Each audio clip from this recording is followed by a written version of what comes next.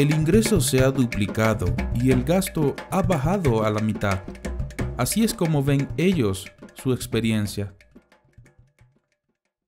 En nuestro último episodio visitamos el pueblo que ganó la competencia del agua de la Fundación PANI y vimos el proyecto de permacultura más grande de la Tierra. De allí cruzamos la India hacia el estado de Bengala Occidental, donde hay un lenguaje distinto, clima distinto y un centro de influencia distinto, la megaciudad de Calcuta. Llegamos por tren al denso caos de la ciudad. Eran tiempos de agitación, con huelgas y protestas masivas bloqueando las calles. Llegamos hasta las oficinas del Centro de Servicio de Comunicación de la Investigación para el Desarrollo, DRCSC, para conocer a una leyenda viviente. Aquí estoy con mi buen amigo Ardendu Chatterjee. Ardendu Chatterjee ha pasado los últimos 40 años trabajando para acabar con la pobreza, el hambre y la degradación ambiental en las poblaciones más marginalizadas, en las tierras más marginales. La DRCSC es una organización no gubernamental de desarrollo dedicada específicamente a las personas más pobres viviendo sobre los suelos más pobres con las precipitaciones más escasas. Esto significa trabajar con las comunidades indígenas tribales de la India, que están en el escalofón más bajo de la escalera social.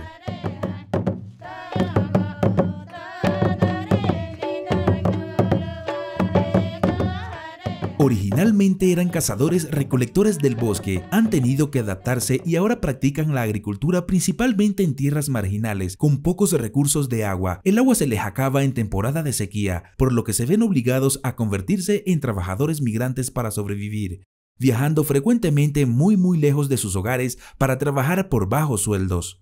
DRCSC ha trabajado en más de 600 pueblos para traer seguridad alimentaria, seguridad de acceso al agua y estabilidad en los ecosistemas para que las personas puedan quedarse y ser prósperos en sus comunidades todo el año. Viajé cinco días con Ardendu y su equipo a pueblos tribales remotos para ver el inspirador trabajo de DRCSC. Empezamos con la región de Purulia, en el pueblo de Sanra, donde el año pasado la población hizo a mano una reserva de agua que muestra el innovador diseño de estanques terraceado que DRCSC ha sido pionero en impulsar. Anteriormente, esta era una tierra infértil, una tierra completamente infértil. No había nada. Ahora están cultivando esta enorme área con esta agua. Un solo año tomaron en hacer esta enorme estructura, a mano. De hecho, 50 a 60 personas hicieron todo esto. El estanque está ubicado justo debajo de esta área boscosa, con una cuenca de alrededor de 8 acres y medio, y es parte de una cuenca de 250 acres con numerosos estanques. Los estanques están colocados en puntos altos del paisaje, de manera que los campos abajo sean irrigados solo por gravedad. Los estanques también proporcionan agua a las tierras debajo de ellas por vía de la filtración subterránea. Así la población puede sembrar rubros sedientos que son irrigados con el flujo subterráneo de estanques que filtran. Caminé hasta el estanque para ver la filtración que ahora está alimentando a rosales. Antes del estanque, en estos campos solo se podía cultivar un rubro al año con las lluvias. Ahora pueden sembrar varios rubros al año, incluyendo el altamente valorado arroz. Esto se traduce directamente en mayor seguridad alimentaria, económica, social y de acceso al agua. El área común es gigante, donde se puede usar esta agua. La, están utilizando y cultivando diferentes tipos de rubros y para, y para peces también. Las rampas no son solo para acceso. Otra cosa, también son para ganado. Conoce lo errático de la naturaleza ahora debido al cambio climático y todas esas cosas. Así que cuando la irrigación es clave, cuando la irrigación salva vidas, están usándola en los cultivos que están a punto de morir, donde la probabilidad de falla en la cosecha es mayor. En ese momento usan esta agua. Este estanque es más de lo que aparenta. A medida que baja el nivel del agua, se va develando más terrazas de siembra subirrigada por el agua que va retrocediendo, de manera que la estructura misma del estanque se convierte en superficie para la siembra. Un estanque terraceado también reduce la evaporación, ya que cada vez que el agua cae por debajo de una nueva terraza, se reduce la superficie de agua. La filtración también se reduce porque hay menos superficie de tierra a medida que baja el agua. No solo en las terrazas, sino también en los taludes siembran pasto y vides para estabilizar el suelo y prevenir la erosión. Al mismo tiempo que dan cosecha, cada superficie de la estructura rinde frutos. De Sanra viajamos al pueblo de Sella en el distrito de Purulia, donde encontramos otro estanque terraceado que había sido construido este año. Este estanque fue cavado a mano por 100 habitantes en 90 días. Estaban muy orgullosos de sus esfuerzos. El diseño de este estanque es similar al del anterior, pero en mayor escala. Terrazas amplias permiten cultivar 5 a 6 rubros, en los taludes están cultivando rubros para aceite, leguminosas y vegetales en la temporada de lluvias. Hay dos terrazas más debajo del nivel del agua, así que a medida que avanza la temporada de sequía y se irrigan los cultivos, se revelan más áreas de siembra. Bastaba con mirar por encima del talú para ver los efectos cuenca abajo, donde hay un próspero cultivo de mostaza y los sueños de los habitantes de cultivar arroz se han hecho realidad. Este estanque le permitirá cultivar e irrigar 30 acres de tierra estéril cuenca abajo del estanque, con enormes beneficios para todo el pueblo. Desde Sella viajamos al pueblo de Golkan, para ver el espacio de restauración de cuenca de 30 acres que está transformando un paisaje degradado e infértil en un bosque recolector de agua. Empezamos nuestra visita en las tierras bajas del proyecto, en el estanque que está construyéndose ahora. Antes esta era tierra completamente estéril. Nuestro plan de independizar ese terreno en términos de agua, más de 125 personas de esta aldea, de este pueblo, están recibiendo los beneficios de este proyecto de manejo de la cuenca entera. El resultado que estamos viendo es que hay filtración y que están usando esta filtración para un arrozal. Hemos planificado una serie de este tipo de grandes estructuras de recolección de agua. Ellos están planificando cría de peces y también extensión de la temporada de cultivo. El agua que filtra tierras bajas de este proyecto es el resultado del trabajo hecho en tierras altas. La parte realmente innovadora de este proyecto está al tope de colina, donde DRCSC está usando una técnica que fue desarrollada por un equipo de ONGs llamada el modelo 3040 para regresar una cresta estéril a su antiguo estado de bosque diverso. Estamos en el tope.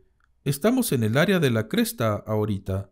¿Cuál es su cuenca? Tenemos que cosechar la escorrentía desde la cresta hasta el valle. No hay ningún tipo de estructura para cosechar el agua de lluvia, ningún tipo de estructura para cosechar escorrentía, así que hay menos productividad, hay fallas en los cultivos. Antes era tierra completamente estéril, no había nada, ningún cultivo, ninguna productividad, nada. Pero luego de aplicar el modelo 3040 puedes ver aquí una gran cantidad de biomasa, hay más de 20.000 plantas en estas dos hectáreas. Hay biodiversidad que también restablecerá esta área. Las personas nativas están cosechando algunos alimentos de aquí, algunos hongos, roedores y conejos para su subsistencia diaria. Usan este tipo de arbusto para alimentar a su ganado. Colocaron una cuadrícula sobre el paisaje, dividiéndolo en secciones de 30 pies en un lado por 40 pies en el otro. Las secciones se separan con montículos y en la esquina de cada sección hay un pozo de infiltración. Cuando caen las fuertes lluvias del monzón, la escorrentía choca contra las bermas y se infiltra. Cualquier exceso de escorrentía es dirigido hacia los pozos de infiltración. De esta manera, la escorrentía nos sale de esta área de 30 por 40 y es infiltrada al suelo, brindando soporte a una amplia diversidad de especies de plantas tolerantes a sequía, estacionales y perennes. Estoy parado en el pozo de cosecha de agua. Este es un pozo típico y como pueden ver, esta es un área de 30 por 40. Este es el montículo de un intervalo de 40 pies y este del otro de 30 pies. Así que estamos en un área de 1200 pies cuadrados. ¿Cuál es la ciencia detrás de esto? Toda la escorrentía, todo el exceso de agua de estos 1200 pies cuadrados se infiltra directamente a este pozo. Tenemos que independizar a las plantas del agua externa. Estas plantas tienen su agua directamente de este pozo de recarga. Crear suministros estables de agua genera suministros estables de alimentos y pueblos, comunidades y sociedades estables. El trabajo físico de DRCSC es realmente una herramienta para justicia social y su elección de trabajar con las comunidades más pobres y marginalizadas en las tierras más pobres y marginales es lo que el propio Gandhi enseñó. Básicamente la comunidad pobre, las comunidades más pobres de las pobres, son básicamente tribales. Estaban obligados a migrar, ahora tienen calidad de vida, llevan a sus hijos a la escuela, ahora tienen una visión para su vida. No usan la palabra permacultura. Nosotros lo llamamos agricultura ecológica, pero es lo mismo que permacultura. Pero debo decir que esta es la organización de permacultura más efectiva que yo haya visto, y este video captura solo un fragmento de su trabajo. Aquí me enfoqué en proyectos de agua, pero la gama completa de su trabajo es diversa, holística y literalmente le ha cambiado el mundo a muchos pueblos en donde trabajan.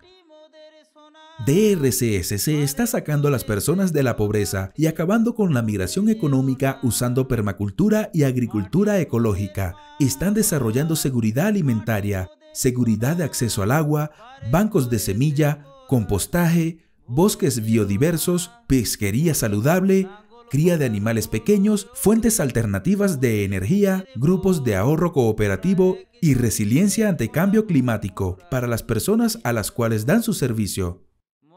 DRCSC no pudo haber hecho este gran trabajo sin el apoyo de muchas organizaciones internacionales de ayuda, donantes privados del exterior, el Fondo de Adaptación al Cambio Climático de la ONU y muchas organizaciones gubernamentales y civiles de la India.